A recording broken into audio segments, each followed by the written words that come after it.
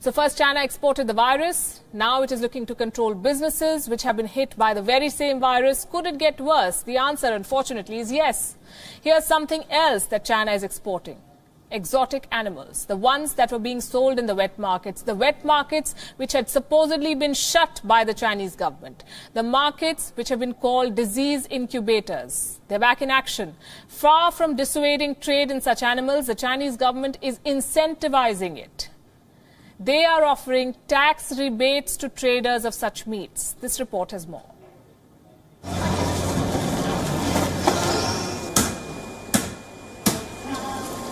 These are the symbols of the coronavirus outbreak. China's live animal markets, also known as wet markets. They are up and running again.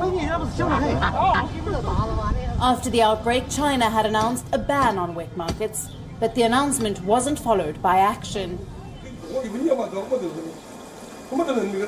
Case in point, traders in Guilin in southwest China. They reopened the market as China eased coronavirus restrictions.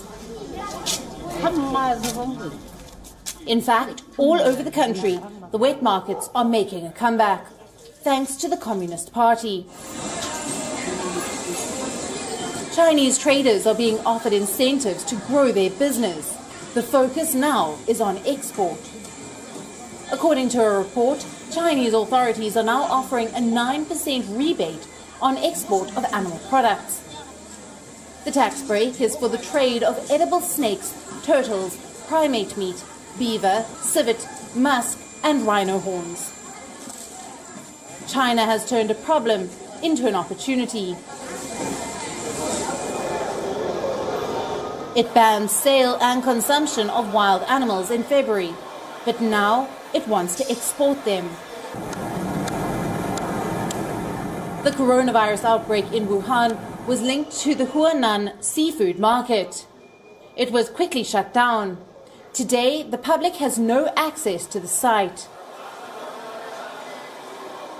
A Chinese spokesperson has termed these markets a health risk. A statement was issued that said the prominent problem of recklessly eating wild animals and its potential risk to public health have aroused wide public concern. Now, China is exporting the same problem. While wildlife trade is a minor component of exports from China, the tax breaks could help it grow. Most of China's live reptile exports go to Vietnam. South Korea, Japan, Hong Kong, and Indonesia also import a small amount of reptiles. Chinese wet markets are often called disease incubators. These are the places where animals are slaughtered and sold. Many people flock to these markets, mainly because the items sold there are cheap. But these markets are dangerous.